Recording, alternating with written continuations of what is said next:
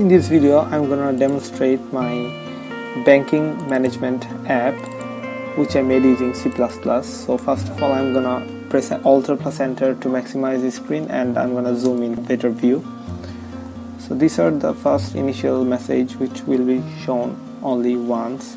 So this is the main menu where you can choose from many options. So first of all let's just open a new bank account by pressing 1 so the account we first have we have to first choose an account number for for new account. So it it must be 9 digits and can have leading zeros and it have to be unique. So let's just choose a account number like 1 2 1 2 1 2 1 it's 9 digit. So it says congratulations this is available.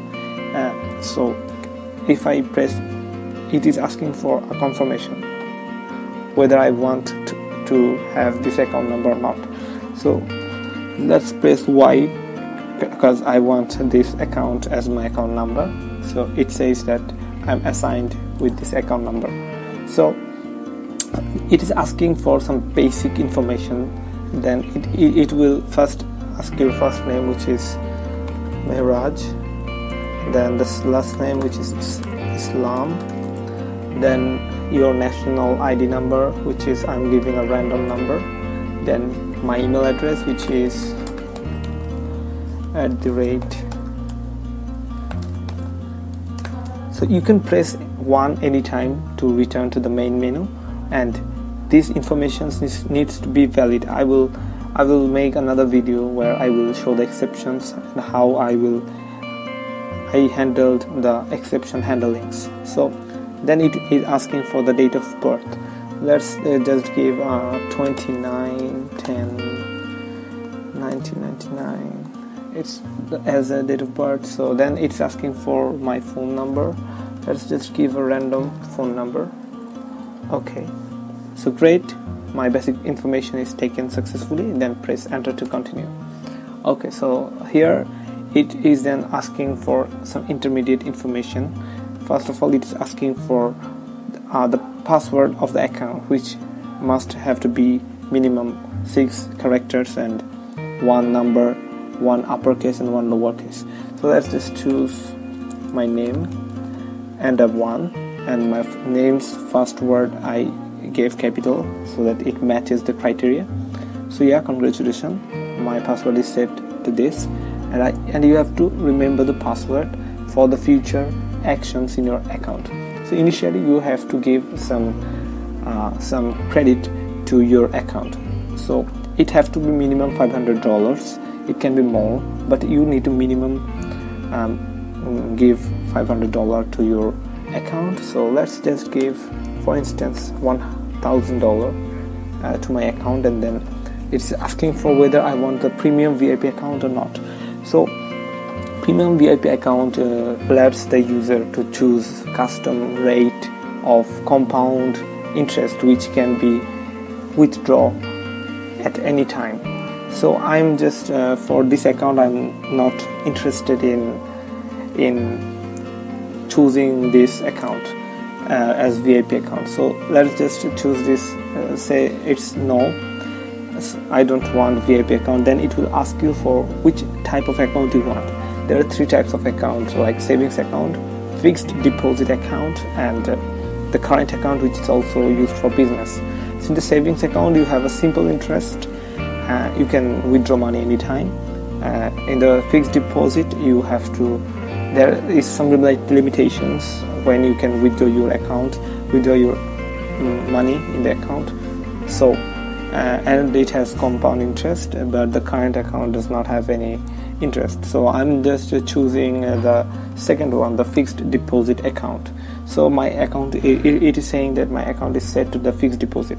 Right now it is asking for the today's date which is the initial date of of um, the creation date of the account. So here let's just give 0101 2020 and it is the first uh, 1st January of 2020 uh, you can uh, see that the, the date have to be uh, have the leading zeros. Like when you press 1 you have to give 0 1 because that's the law here.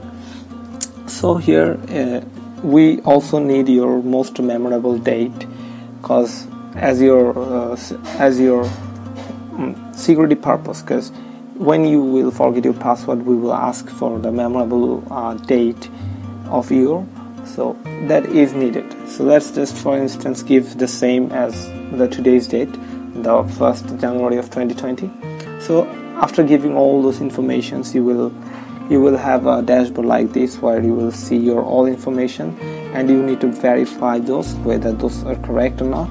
So if those are correct you have to press y to say yes and if those are not correct you don't want to create the account then you, you can press n which which stands for no this is not correct so uh, let me just press yes and save the account. So it says the account has been saved successfully. Press enter to continue. So let's just continue to the main menu. So right now we have an account uh, of our in in this bank software. So let's uh, just head to the next option which is the statement of the existing account where you can you can give your account number and password and see all the information about your account. So let's just give our account number 121212121 so it says congratulations account number is found. Account number this is found. So it, it is welcoming by the name Mehraj Islam. So here it is asking for the password. So my password was Mehraj Mehraj 1 it was my password. So congratulations the password is matched press to continue. You can press 1 anytime to return to the main menu and press 2 to recover your password. In case you just forget it we will show you I will show you later how you can do that. So let's see my dashboard. So here you can you can see your all informations in one place like a statement. So you, when you after watching all this information you can press 1 to return to the main menu. So here in the third third option you can see that there is an um, option named transaction. By using this option you can uh, transact transaction you can do transaction between uh, two accounts or any you can do several types of transactions. Let's see an example. So first of all you need to log into your account which I I'm gonna give my account number one two one two one two one two one. Uh, it's saying that it is found then I'm gonna I'm gonna uh, give my password Mehraj1 uh, it says that sorry the password did not match because um, what did I miss? Yeah the M is was uppercase. Mehraj 1 yeah. Now it is saying that the congratulations the password is matched. Press enter. So here you can see the transaction mode window which is uh, asking for the date of transaction so it is asking for the date when you want your transaction to be. So currently uh, I'm just assuming that the transaction will be at 1st January of 2021 after one years after the creation of the account. Let's for example let's see this. So I've given the date then it's asking for which type of transaction I want to do. You can send money to uh, another account of the same this same bank. Like in my app you can transfer money between two accounts or otherwise you can you can receive money from out from outside of this app or outside of this bank or you can send money to an account outside of this bank. So first of all I will just uh, see I will send money to uh, uh, to any account outside of this bank. Let's choose three. So here it is um, saying that you have to give uh, you have to enter the receiver's account number. So let's just give for instance a random number. So it is asking for the confirmation from you that whether you really want uh, to send money to that random account or not. I'm saying why which is yes i want to send. Then it is just asking for how much money you want to send so here you can see the balance uh, which is 1000 which i put it there. So uh, i want to send um, if, if you if you want to send like 1000 uh, if you send 1010 which is not invalid because you cannot um, send more money than you have in your account. So you have to give like uh, you have to give uh, less than your balance or less than or equal to your balance. So let for instance let's see uh, let's just give $500 so it's done. It's transaction. So to see uh, that whether the transaction is done or not let's press to the statement of the account. Let's once again um, log into my account. Give the password. Okay so here you can see all my information and you see the balance is $500 which was previously $1000 and uh, you can see the last transaction which is debited $500 at 1 1 2021 so it's just like that. So let's just press 1 to return to the main menu. So it's just like that. You can do transaction of any type. You can send money in in between the accounts. You can send money to other account or receive money from other accounts many type of things. In the fourth option you can delete your account. So uh, let's show you that uh, later on.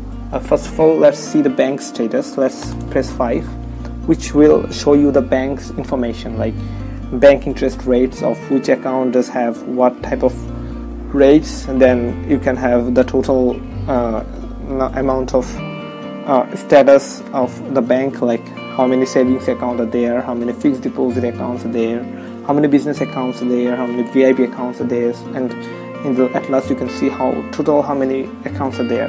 And then you can last in the in the very last line you can see the total reserve of the bank. So the, those six accounts i added before uh, before shooting this video. So let's press 1 to return to the main menu. So here you can see the bank status like this then you can press 6 to update your bank information bank account information. Let's do one two let's first of all log in to the account which is this. Then you have to play you have to you have to give your password. Suppose we uh, suppose you forgot your password then you can press 2 any time to to, reco- to recover your password which is this. So in the password recovery mode you can first of all give your password give your account number which is 121212121 then uh, it says that your account number is found then you will it will ask you your most memorable date which is 1st of January 2020 okay so you have to also give the amount of your last transaction. We know that uh, the last transaction in the last transaction we we did $500 we debited. So um, it says password recovery failed because maybe we did not we have a mistake here. So let's just see how much money did we transact last time. One two one two one two one two one. It says it is found then the password is mehraj 1 it is matched. Then you can see that the last transaction is $500 so let's just try to go to the update account information once again. Let's give account number one and let's give the password. So it says the password is matched. Then you can see your uh, your informations uh, which is editable. So here you can uh, choose uh, to edit the first name by pressing 1 and you have to enter your new first name which is I wanted to say it's Mehrajul not Mehraj. So it, it will be changed to Mehrajul then your contact number you can change any one of these. You can change your memorable date whatever. You can press 6 to uh, save and exit to the main menu. So it's already saved and exit. So let's uh, take uh, if it is it is changed or not. And let's log into my account giving by giving the password which is this so you can see that here um, here I my name is changed as Mehrajul it is currently changed. So you can update your account information from there. So you can also pay the bill um, which is this. So you have to first of all in the pay bill mode you have to enter your account number to continue. So let's enter my account number one two one two one two one two one which is this and the password which is this okay I forgot to give one. Okay. So you have to first of all enter the day enter the date of the bill payment which is I will consider uh, 1st of January 2020 uh, let's say 2021 then you have to give the merchant account number to which account you want to give the bill and you have to confirm it. Then you have to say how much money you want to send which is $500 let's uh, say I want to pay $100 so that's like that. So and then let's just check the statement for once again. 121212 and give the password. And uh, you can see that your balance current balance is is like 100 dollars uh, 100 dollar less which is which is 400 dollars. And you have uh, successfully transact last transaction is successfully done which is 100 dollar debited. And then you can press 1 to go to the main menu.